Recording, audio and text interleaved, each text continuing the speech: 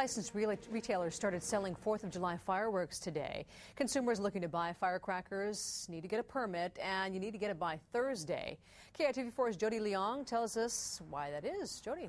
Friday is a furlough day, which means satellite city halls will be closed, but neither consumers or vendors seem too concerned about that today. Don Quijote's shelves are packed with fireworks on this first day of sales.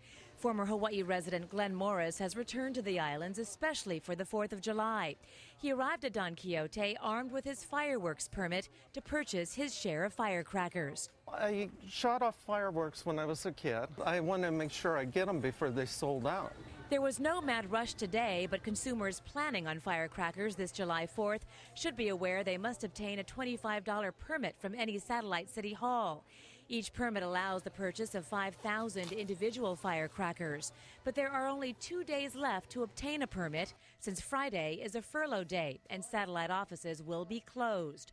Fireworks vendors around town say they are not too concerned about the lost permitting day because 4th of July fireworks sales represent only a fraction of the sales normally seen for New Year's Eve.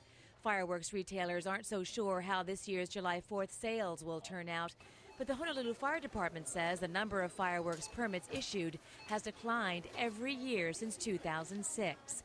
Fireworks will be sold up until 8 p.m. July 4th and be set off, ignited, or discharged on July 4th between 1 p.m. and 9 p.m. You can be sure Glenn Morris will be celebrating. He purchased his fireworks early this year. We've been coming back every summer, and I came later this year for the 4th of July and to shoot off fireworks and to watch the, I guess, the third largest fireworks display at Ala Moana Beach Park. And HFD says public displays are the safest way to celebrate the holiday. For a list of public fireworks displays on Oahu, go to our website at KITV.com. Reporting live, Jody Leong, KITV4 News. All right, thanks, Jose.